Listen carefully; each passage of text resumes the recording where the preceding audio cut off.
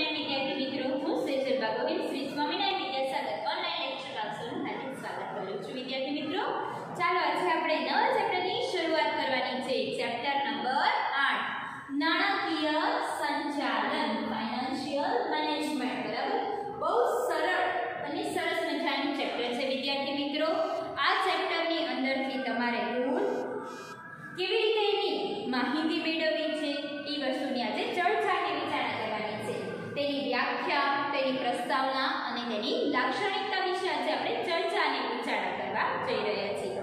તો વિદ્યાર્થી મિત્રો, નામ ઉપરથી જ તમને થોડો ઘણો અંદાજ તો આવી ગયો હશે કે નાણાકીય સંચાલન, બરાબર ને?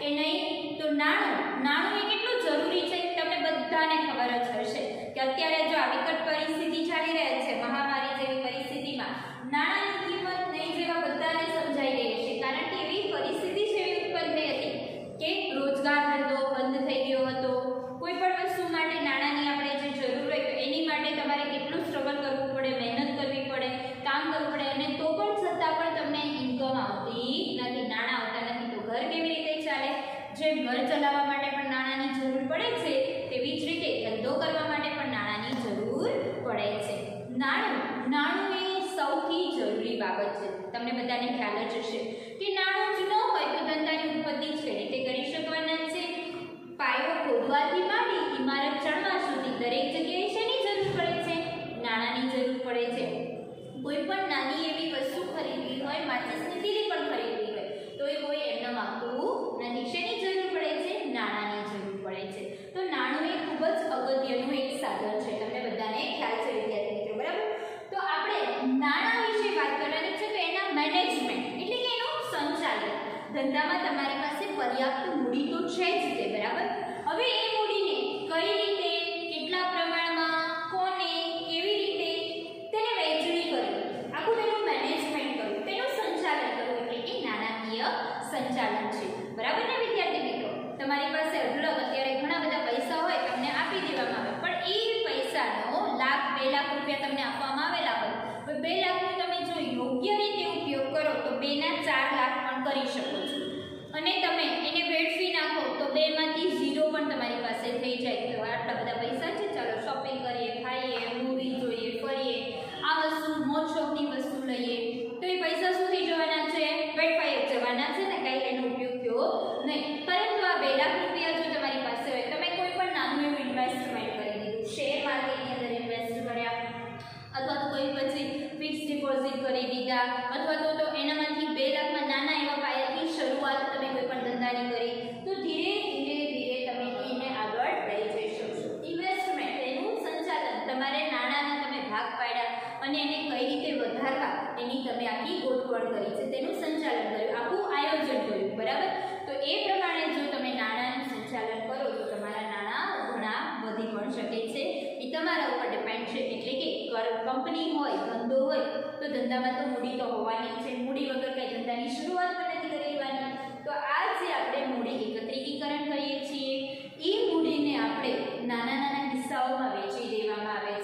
અને ભાગ પાડી દેવામાં આવે છે વિભાગ વાઇઝ અધિકારીઓને નાણાંનું મેનેજમેન્ટ કરવા માટે અલગ અલગ રૂપિયા આપવામાં આવે છે. આ નાણાકીય સંચાલનનો કંપનીની અંદર એક ભાગ જ અલગ હોય છે. એ ભાગ દ્વારા નાણાંનું ડિસ્ટ્રીબ્યુશન સેલેરી કરવી, પછી ભરણાઓ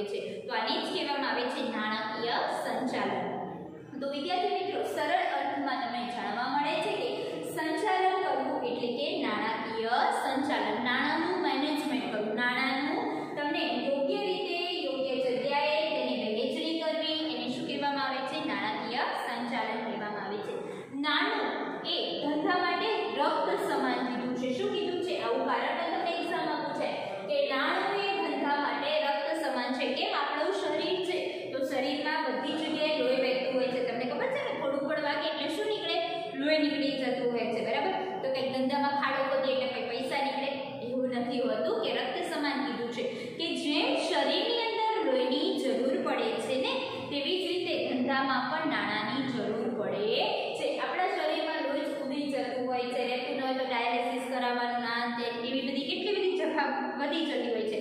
અને વ્યક્તિને જીવવું ઘણું બધું મુશ્કેલ પડી જતું હોય છે. તો ટેકનોલોજીને કારણે એવા ઉપાય છે, ઈલાજ છે, એટલે જ માણસ જીવી શકે. બાકી જીવી શકતા પણ નથી. તો ધંધાની અંદર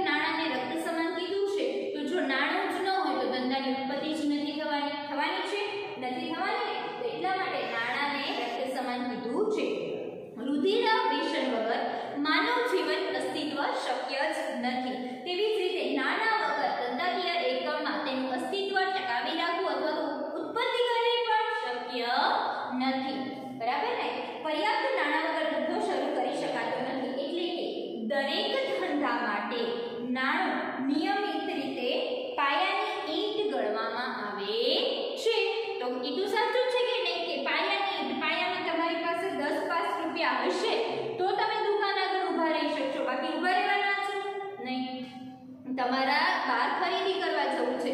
પણ પૈસા જ નથી, તો કેવી રીતે જવાના છો? જઈ શકશો?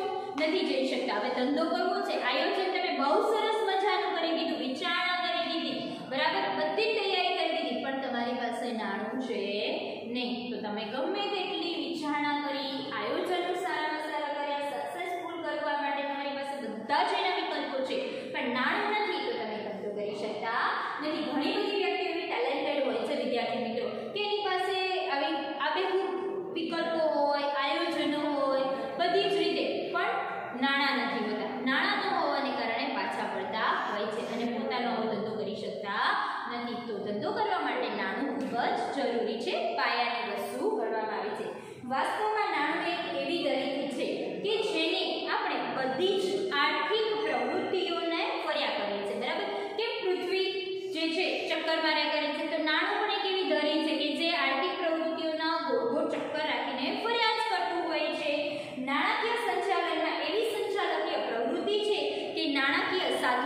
hydrogen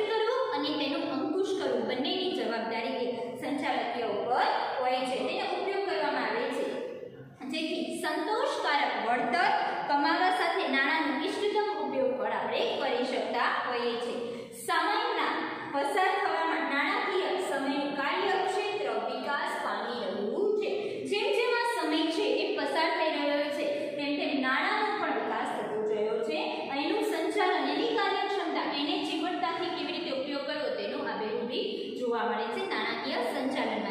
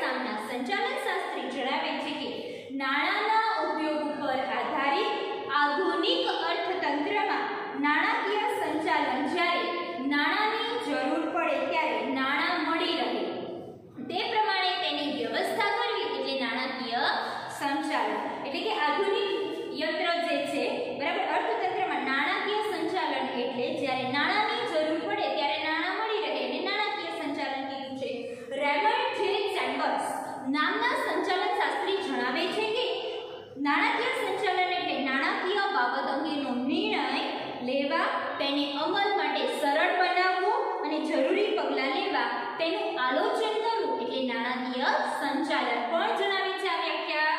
રેમન્ડ જે ચેમ્બર્સ જણાવે છે કે નાણાકીય સંચાલન કેવું સંચાલન છે? કે તેની અંદર નાણાકીય બાબતમાં યોગ્ય નિર્ણય લેવા, પછી તેને યોગ્ય સરળ રીતે તેનો ઉપયોગ થઈ શકાય, તેનું આલોચન કરી શકાય, તેને નાણાકીય સંચાલન કરે છે. પ્રોફેસર એમ કિમ્બા શું નામ છે?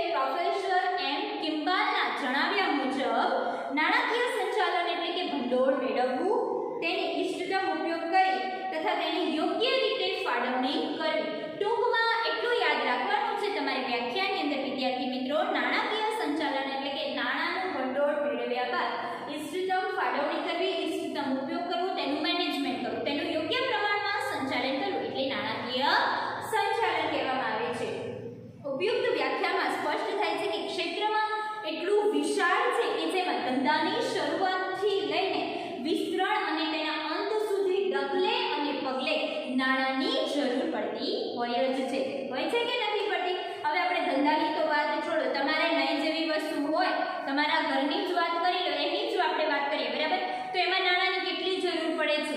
જોયું છે કે નથી જોતું? કોઈ પણ વસ્તુ ખરીદી કરવા માટે તમારે બાજુમાં દસ ડગલા ચાલીને જવું હોય, દસ રૂપિયા હાથમાં હશે તો કંઈક વસ્તુ તમારી પાસે હશે.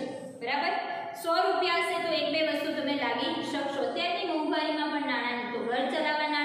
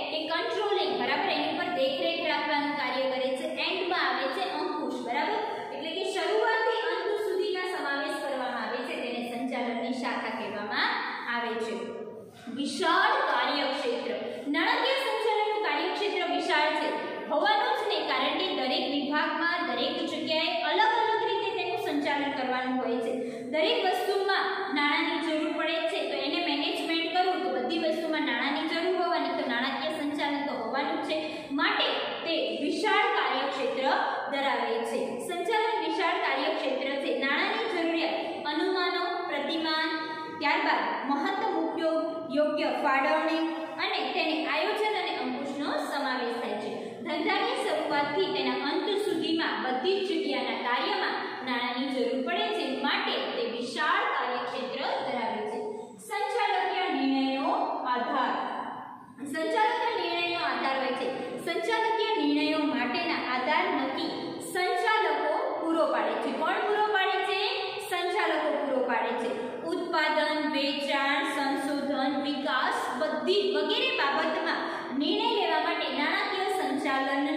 આધાર ઉપર જ આધાર રાખવા માંગતા હોય છે. ઉત્પાદન કરવું છે તો નાણાંની તો જરૂર પડવાની. વેચાણ કરવું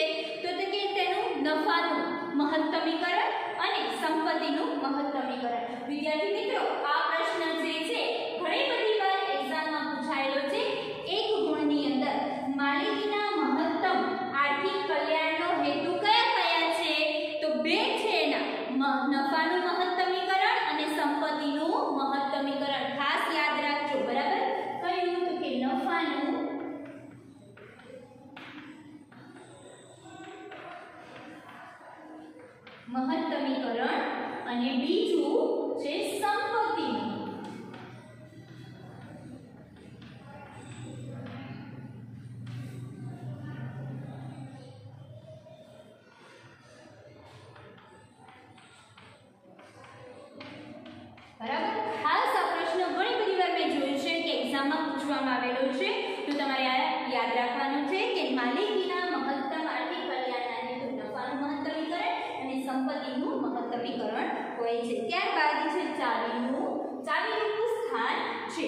નાણાકીય સંચાલન એ સંચાલન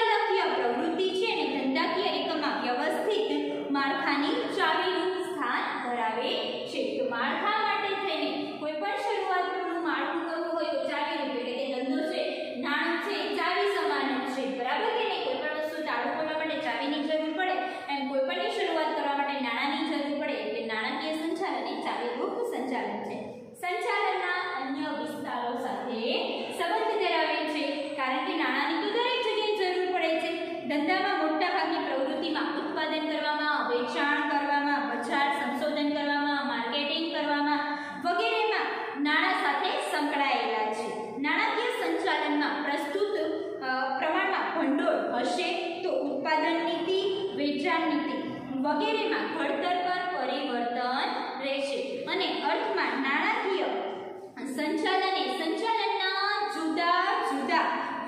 કાર્યક્રમમાં ઉત્પાદન સંચાલન, બજાર સંચાલન, કર્મચારી સંચાલન સાથે સંબંધ ધરાવે છે. કઈ કઈ રીતે સંબંધ ધરાવે છે વિદ્યાર્થી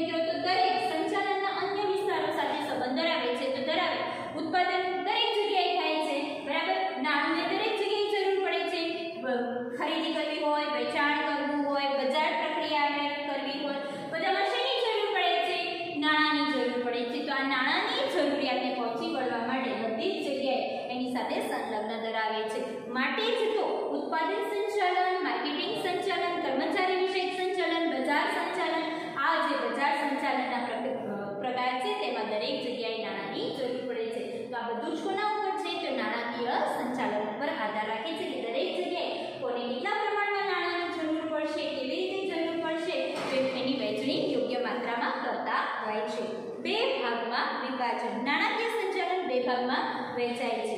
કાયમી મૂડી સંચાલન અને કાર્યશીલ મૂડીનું સંચાલન.